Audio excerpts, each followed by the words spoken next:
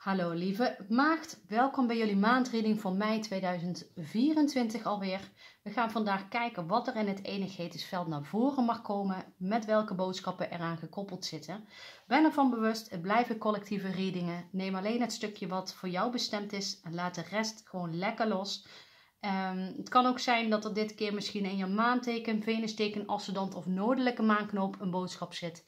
Laat daar dan um, de of kijk dan naar de video die daarin dat teken staat. Het blijven, ondanks dat ik intap op mij, uh, toch tijdloze berichten. Dus mocht je dit bericht op een heel ander moment zien, weet dan dat er altijd wel ergens in deze reading een boodschap voor jou in zit. Um, zoals je ziet liggen er al orakelkaarten klaar. Daar gaan we mee aan de slag. Deze heb ik tijdens een voormeditatie al geshuffeld, zodat ik meer tijd op beeld overhoud. Dus we gaan gewoon lekker beginnen.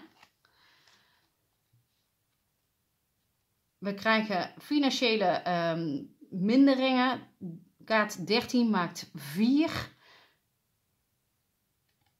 Hmm, stukje stabiliteit weer terugkrijgen. Het kan zijn dat er iets met de belastingdienst is of een rekening binnen gaat komen waarbij jij zoiets hebt van hoe en hoe ga ik dit nu aanpakken. Het voelt voor mij dat daar met gemak iets voor geregeld kan worden. Dat, uh, of een betalingsregeling of uh, misschien zijn er aspecten waarbij iets niet kloppend is.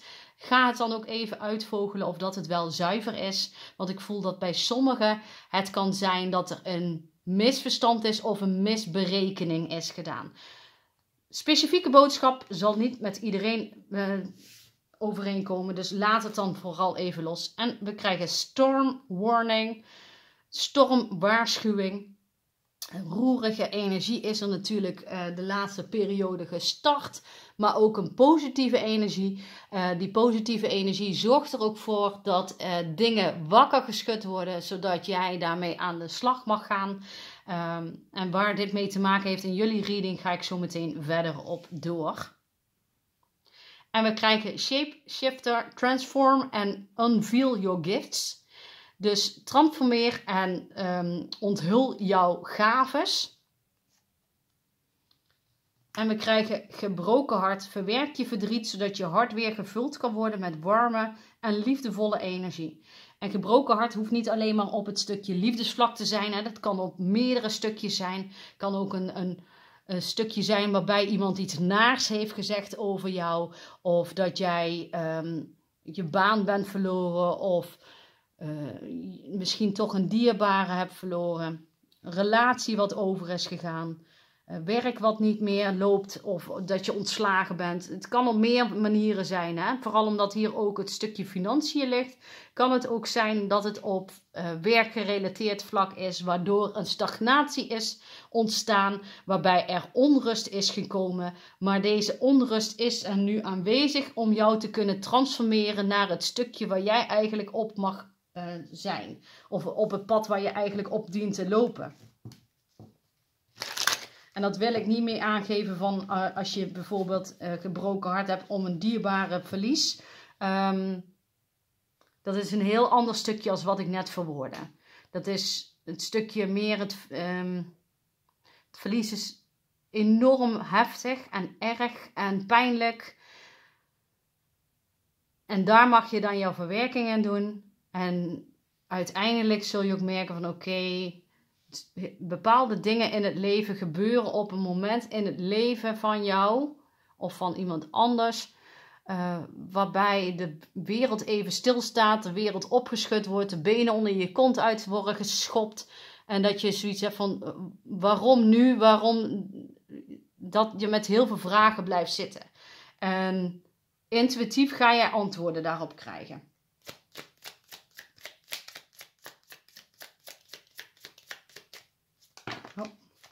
Zijn er te veel.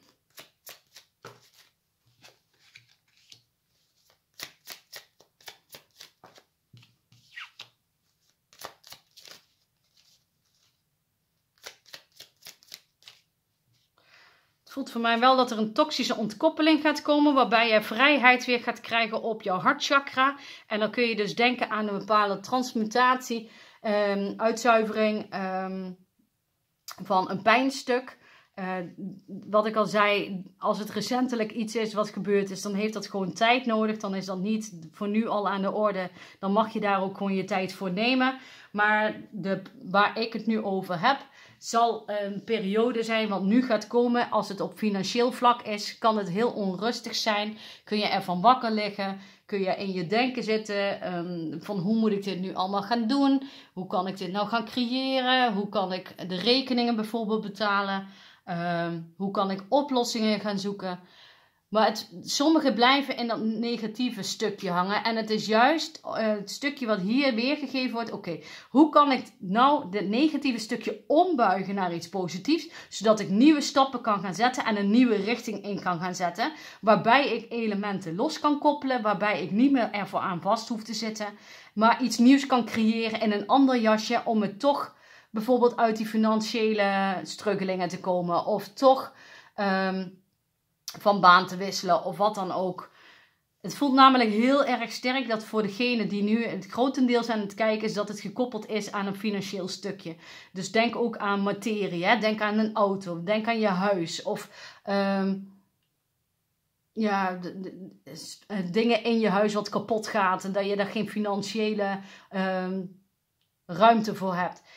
Er zijn ook mogelijkheden dat er misschien iets gratis afgehaald kan worden op marktplaats of wat dan ook. Dus door in het negatieve te blijven zitten, zul je niet de inzichten kunnen krijgen welke mogelijkheden er wel zijn. Want er liggen heel veel mogelijkheden binnen jouw bereik. Maar dan is het ook zo dat een bepaalde eisenpakketje of een maatstavenlijst um, herzien mag worden, waardoor jij misschien van richting kan gaan veranderen. Um, misschien heb je een grote woning of een dure auto en eigenlijk is er niet meer te doen omdat de belasting, wegenbelasting voor het zo gruwelijk duur aan het worden is voor bepaalde zware categorie auto's. Um, omdat je misschien de mogelijkheid hebt om een kleinere auto te gaan rijden. Uh, want het is goedkoper. Je hebt meer rijbereik voor, um, voor de benzine wat je erin gooit. Wegenbelasting is goedkoper. En noem maar op. En daar ga jij inzichten over krijgen. Je gaat misschien uh, bepaalde materie inruilen voor iets wat in jouw aspect misschien minder waardiger is. Terwijl het op de lange termijn jou meer gaat geven als dat het nu doet met wat je nu bezit. En dat kan, ik heb het nu over een auto, maar dat kan ook over andere dingen zijn. Hè? Het kan ook met de telefoon te maken hebben. Of um, weet ik veel wat, dat je voor je, voor je kind een, fiets moet kopen uh, voor de nieuwe school. Uh, omdat ze nou in groep 8 zitten en dadelijk naar de nieuwe opleiding gaan. Of wat dan ook. En dat je zoiets nou met je handen in het haar zit van hoe ga ik dit doen. Soms zijn er, als jij um, financieel minder te besteden hebt, zijn er ook bij de gemeentepotjes. Heb je ook um, Stichting Leergeld, waar bepaalde uh, leermiddelen uh, aangevraagd kunnen worden. Denk aan een laptop, denk aan die aspecten. Er zijn heel veel mogelijkheden als jij maar niet alleen naar het negatieve kijkt, maar juist je eigen positief open gaat stellen om te gaan voelen van oké, wat kan ik nu gaan doen? Wat kan ik in de positieve zin gaan transformeren en onthullen wat voor jou belangrijk is? Nieuwe zicht op wat er komen gaat. Alleen je zit nog wel in een bepaalde afwachtende positie. Soms is het nodig dat jij in contact gaat komen met anderen om daardoor bewust te worden van waar jij op dit moment in zit. Zit je met je gebroken hart, kan het helpen om met mensen erover te praten. Soms kan het zijn dat uh, dat je in een, in een praatgroep komt met gelijke stemden. Of je ontmoet toevallig iemand waarmee jij erover kunt praten. Waarbij jij heel veel overeenkomsten hebt. En of dat het nou op het uh, romantische vlak is. Of, of het verlies van een dierbare. Of op zakelijk vlak. Jij gaat mensen ja, op jouw pad krijgen die jou kunnen ondersteunen. Maar jij kunt die mensen ook ondersteunen vanuit jouw eigen perspectief weer. En daar zul jij veel meer winst in gaan behalen. En dan zul je ook merken dat bepaalde andere patronen waar je in zat en ook het stukje materie ontkoppeld kan worden. Want je kunt meer waardering en um, overvloed ervaren op een ander vlak. Want het andere vlak zal jou gaan beperken en zal jou blokkeren. En het is belangrijk om naar dat nieuwe stukje te gaan. En dan zul je ook merken dat jij een hele andere richting uit gaat zetten, lieve maagd. Waar je eerst nog geen zicht op had, maar nu wel gaat komen. Dus het voelt voor mij ook veel al in het stukje materie waar jij andere kijk op gaat krijgen. Dat jij een bepaalde ontkoppeling kunt doen, wat niet voor jou, dat je dat niet meer belangrijk vindt. En als je dat kunt ontkoppelen, komt er in een hele andere vorm veel meer waardering, maar ook. Um, ja, voorspoed naar je toe. Kijk, we krijgen weer de 10 van munten. Dus dubbele bevestiging. Er kan heel veel voorspoed, ook op materieel vlak, um, financieel vlak naar je toe komen. Mits jij in de juiste energiestroom komt. Mits jij het pad gaat kiezen wat voor jou bestemd is. Als jij in een bepaalde um,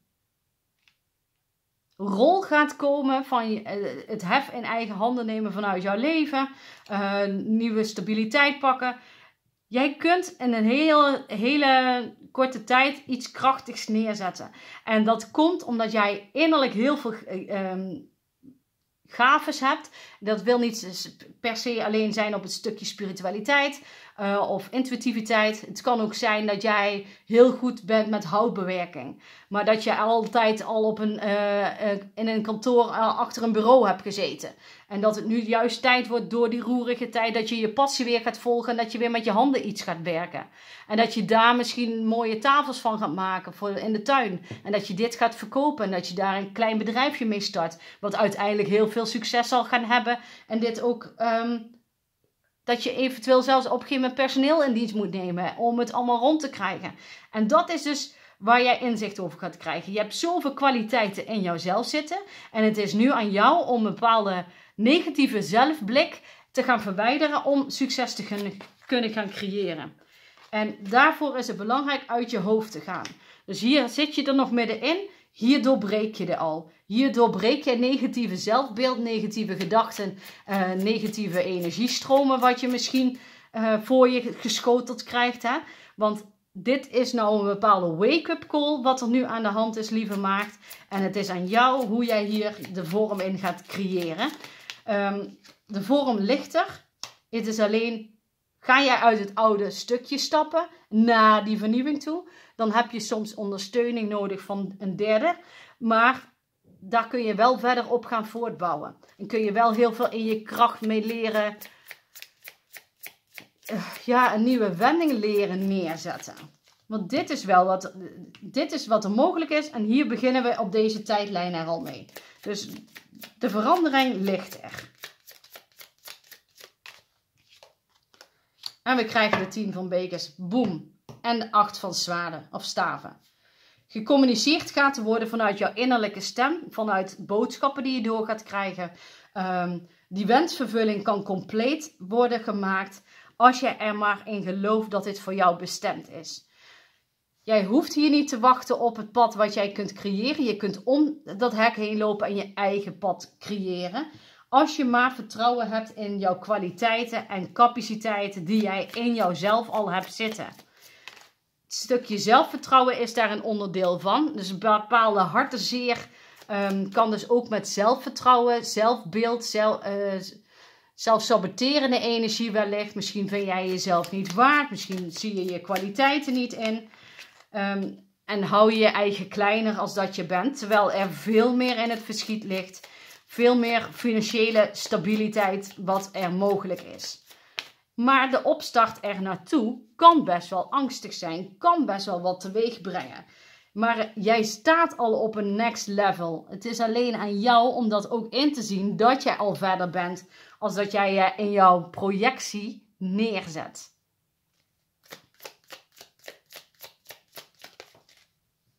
Kijk, maar door eraan te blijven werken kun je iets verwezenlijken. Dus we krijgen dubbele kaarten.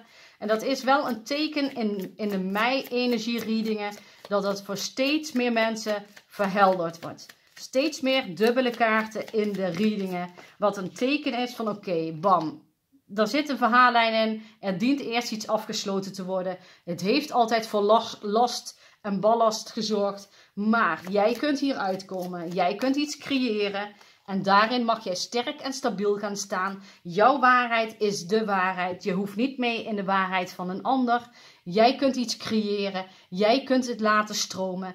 En de boodschappen, intuïtief krijg jij heel veel dingen door. Maar het is aan jou om dit ook neer te gaan zetten. Een ander kan dit niet voor jou gaan doen. Een ander weet niet wat jij innerlijk allemaal als kwaliteiten hebt zitten. Wellicht zien ze het een en ander. Maar het is ook heel erg belangrijk dat jij zelf in gaat voelen welke kwaliteiten je hebt, waar je ontzettend trots op mag zijn, waarbij jij dankbaar gebruik van mag gaan maken, omdat dit in dit aardse bestaan jou gegund is. Uh, samenwerking aangaan met uh, mensen misschien. Misschien ga jij uh, jobcoach aanspreken. Misschien ga jij van richting veranderen. Uh, misschien kom jij in contact met mensen die eenzelfde fase door hebben gemaakt. En dan zul je merken dat als zij het kunnen, jij het ook kunt. Want er zit zoveel goed verscholen in jouw lieve maagd. Wat als groot succes kan gaan worden. Um, mits jij er zelf de schouders onder gaat zetten en in jouw kracht en leiderschap gaat staan. Als laatste pak ik nog een affirmatiekaartje. En dat is dit keer wat mij een rotgevoel geeft, laat ik los. Wat mij plezier geeft, hou ik vast. En dat rotgevoel voelt voor mij dat negatieve aspect.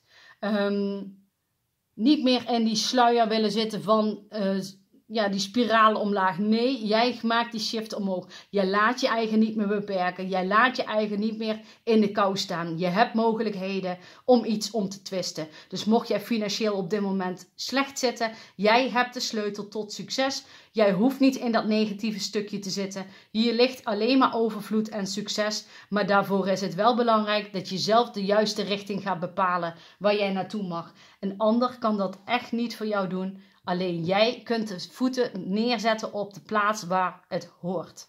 Dus lieve maagd, laat vooral een berichtje of een like achter mocht dit jouw tijdlijn zijn. Ik wens je ontzettend veel succes in de maand mei, maar ook de maanden die daarna natuurlijk daarna gaan komen.